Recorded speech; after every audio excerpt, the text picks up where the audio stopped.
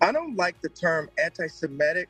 It's been a term that's allowed people, specifically in my industry, to get away to get away with murder sometimes literally Ye, formerly known as Kanye West, is standing by the anti Semitic remarks he made earlier this month in a lengthy interview on Chris Cuomo's News Nation show on Monday.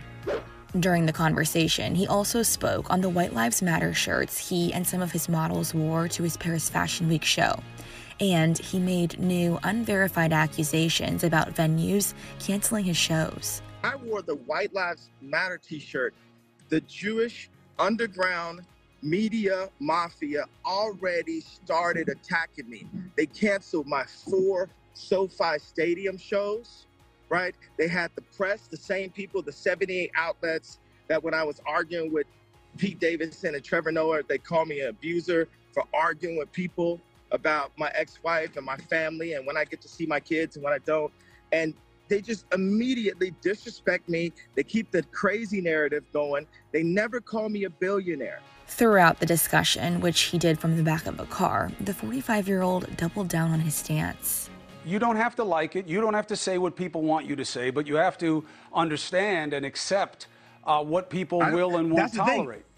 I don't have to understand or accept because they're not willing to understand or accept. And that's the reason why I'm not backing down.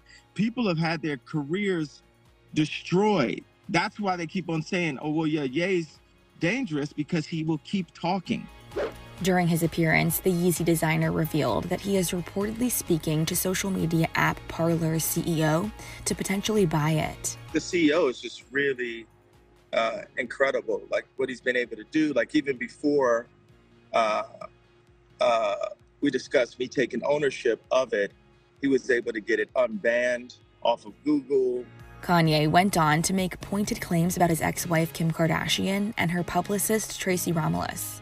My family was torn apart off of my political opinion because of my ex-wife's attachment to the Clinton uh, administration. You got people on my ex-wife's side and this person, Tracy Romulus, every day running a narrative. This person's not even around me because I'm not saying what the media wants me to say.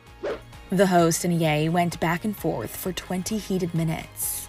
And I'm gonna finish what I'm saying. I know, but If you, look ha- at you every- have to understand eh, this wait, idea bro, of the Jewish hey, media. hey, don't that's that, not how don't it do that, works. don't You're talking that, to me la, right la, now. La, la, la, la. At the very end, Cuomo asked Ye about his health.